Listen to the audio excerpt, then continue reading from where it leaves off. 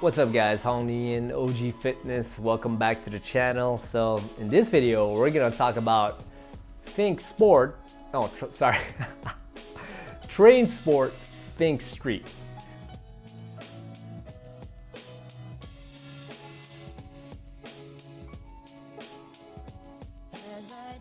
Uh, let's uh, let's get into the question. Let me read the question for you guys that sparked the idea for this video. And this question is from Hayward. Uh, and is judo better than BJJ for self-defense, even if you can only train at a sports judo school? So, I probably answered this question uh, in one way or another in the past in some videos, but I thought about it and yeah, and, and, I got I got something different for you guys now. I don't I might have mentioned it before, but I probably probably not in as much detail. So let me get into this. Nothing is better than anything.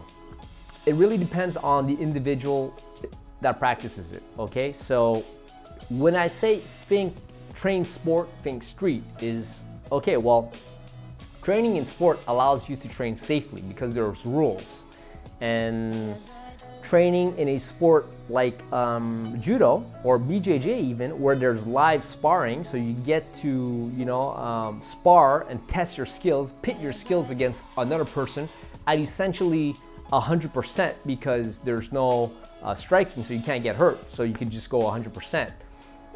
Then you get good really fast, right?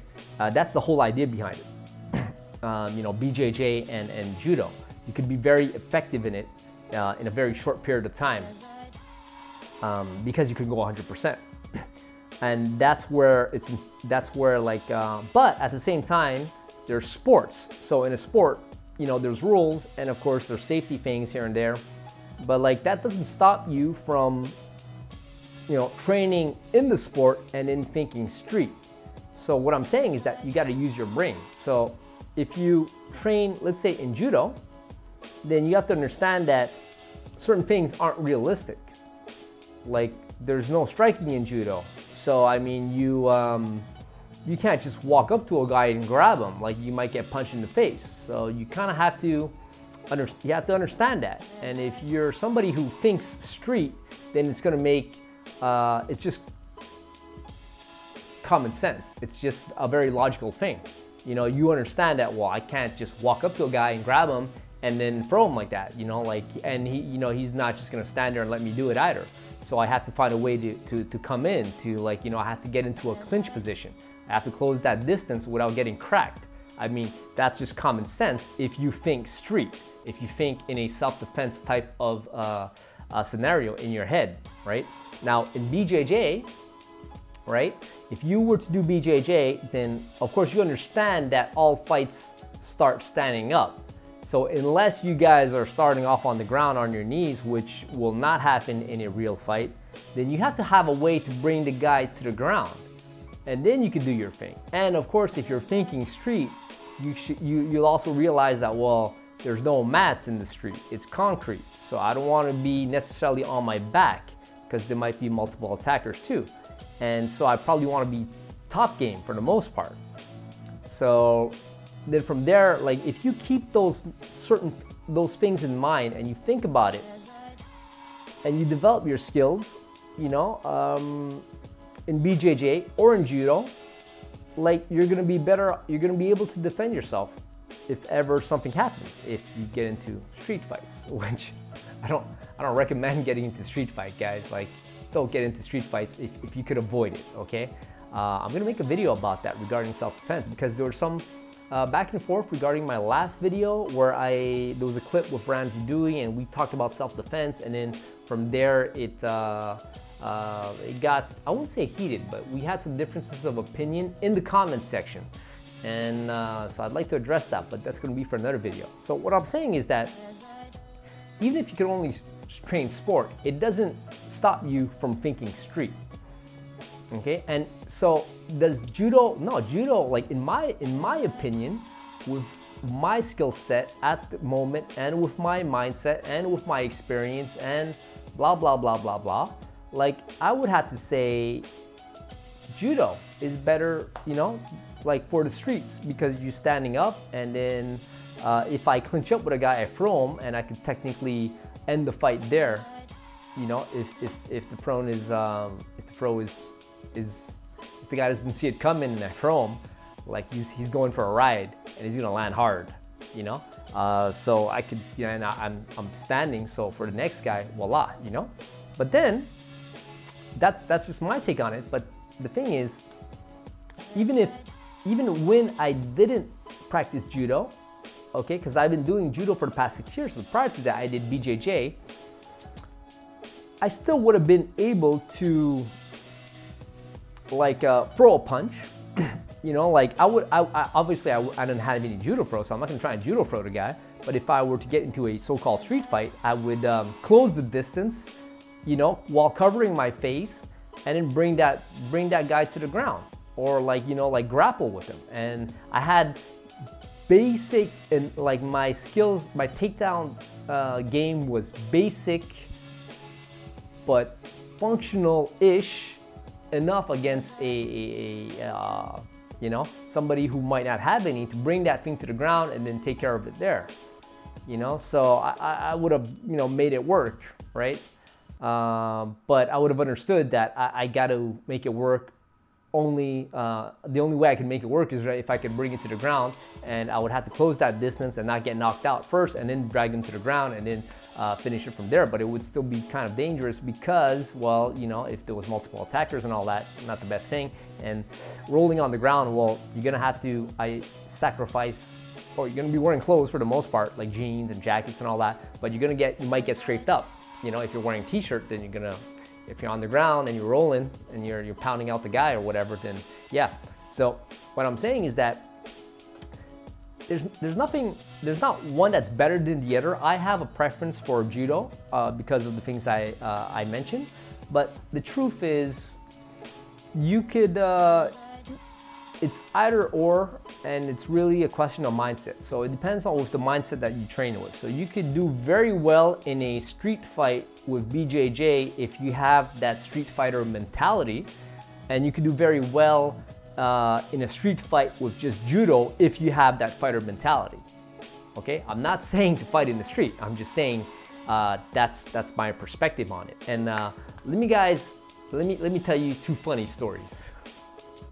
I think one of them I, I actually um, posted recently in a video with a video clip with Chadi, and that one was regarding a high-level judoka street fight.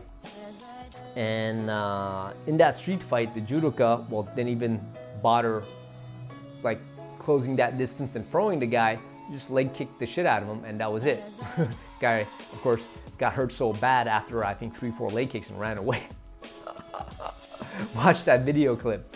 Uh, it, it's, it's recent. Um, man, I'm gonna forget to like, uh, yeah, yeah, yeah, you know what? Uh, yeah, anyways, it's, it's somewhere. It's, it's the one with um, the video clip with Chadi and it's called um, Judo Leg Kicks. Yeah, that's the judo leg kicks, something like that. Okay, so so look for the thumbnails there, the lost art of leg kicking in judo, and I was like, ha ha ha, that's the title. And then in the thumbnail, it's called judo leg kicks. Yeah, yeah, I'm pretty sure that's what it was. So check that one out for the full story with details. Okay, so now the BJJ uh, example that I want to give you guys. I knew this purple belt once in BJJ. And you know, he, he walked out to his car. At one point, his car was in a parking lot. It might have been in the evening. I don't. I'm, I'm not sure about that. Probably was. And then uh, I think there was a couple of guys that walked up to him. I think it was three guys, and um, they looked at him and they said, "Yo, give me your bag." Because you know, obviously they saw him come out of I don't know some coffee shop or whatever, so he had a, a little like bag with his laptop in it or whatever. And uh, they told him, "Yo, your bag, and your keys. And he was a purple belt. So purple belt is, uh, for, for those of you guys who don't know, purple belt is considered advanced, man, in BJJ. And he handed it over. He got punched in the gut.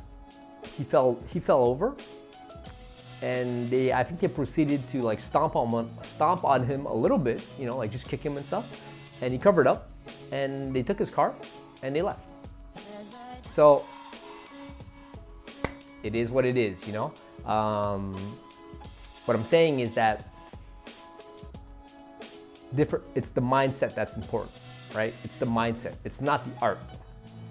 And of course, if you really want to be, um, if you're wor worried about self-defense, you're gonna have to have a more rounded skill set. So you're gonna have to understand, you're gonna have to train in grappling and striking, and after that in weaponry, right? Weaponry, uh, I would uh, suggest, and I forgot where I got this from. I don't know if it was Ramsey or if it was uh, Icy Mike from Hard2Hurt, but uh, probably both.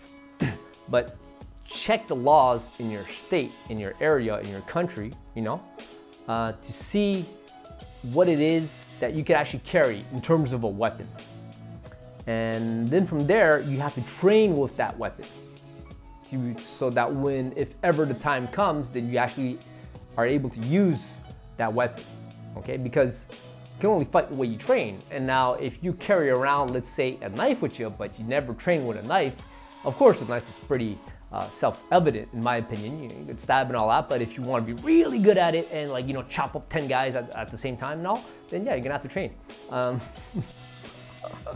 But yeah, so you get have to train with the weapon that you're able to, uh, you know, that you want to carry around with you, you know. And uh, some states you could carry guns, then you, are gonna have to learn some gung fu, man. You know, and go to the shooting range and shoot people and not people, but shoot target practice and ta ta ta ta and all that, you know. So that's it. So if if if, if self-defense is your your um, you know your concern, then you know it's uh, it's it's it's it's a little bit, it'll be more, you'll need more than just uh, judo or BJJ. Uh, street fighting, uh, and that's what I, am thinking when you're saying street fighting. I'm thinking street fighting, you mean like self-defense uh, type of scenario, right? Uh, but I don't condone like, uh, you know, going out looking for fights.